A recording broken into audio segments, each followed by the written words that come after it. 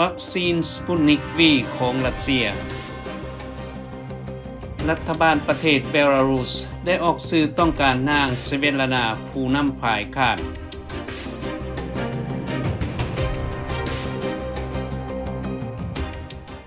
สบายดีท่านผู้ชมตามข่าวสารสปุตนิกที่มอสโกรัสเซียท่านเกวิลดิเมตรฟ CEO Russian Direct Investment Fund กล่าวว่าภายหลังที่ได้จดทะเบียนยาวัคซีนสปุตนิก V กันพยาธิโควิด -19 ในเดือนออกาสผ่านมา ปัจจุบันรัสเซียได้รับผู้ต้องการให้ผลิตยานี้ถึง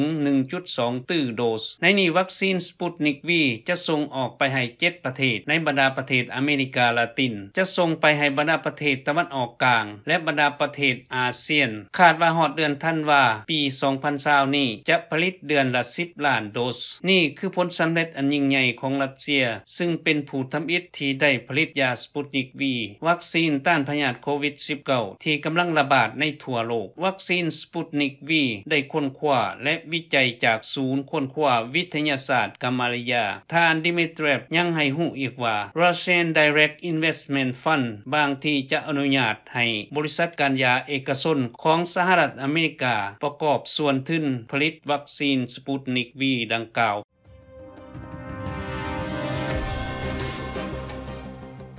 มื้อนี้จะมาเสนอข่าวทางการเมือง ตามข่าวจากสปุตนิกรัสเซีย ที่ประเทศเบลารุส ภายหลังพ้นได้หับการเลือกตั้งประธานประเทศเบลารุส 2 เดือนที่ผ่านมา ปรากฏว่าพ้นได้หับเลือกตั้งเป็นของทานลูเชนโก ประธานประเทศผู้เก่า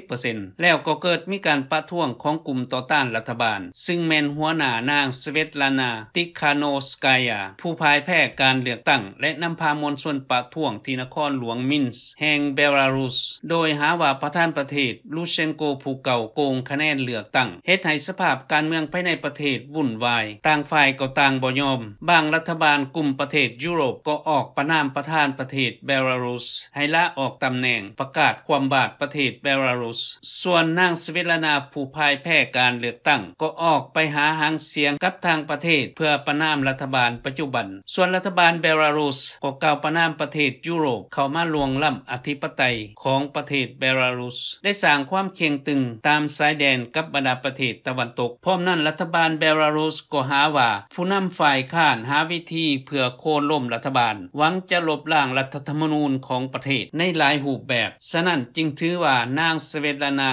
ติคาโนสกายา มีความผิดทางกฎหมาย เป็นผู้กระทำผิดทางการเมือง ในฐานะที่เขาจะโค่นล่มรัฐบาล และรัฐบาลได้จดรายชื่อเขา เป็นผู้ผิดทางกฎหมายของรัฐบาลเบลารุส เขาประเทศเมื่อใดเขาจะถึกกักตัวเพื่อดำเนินคดี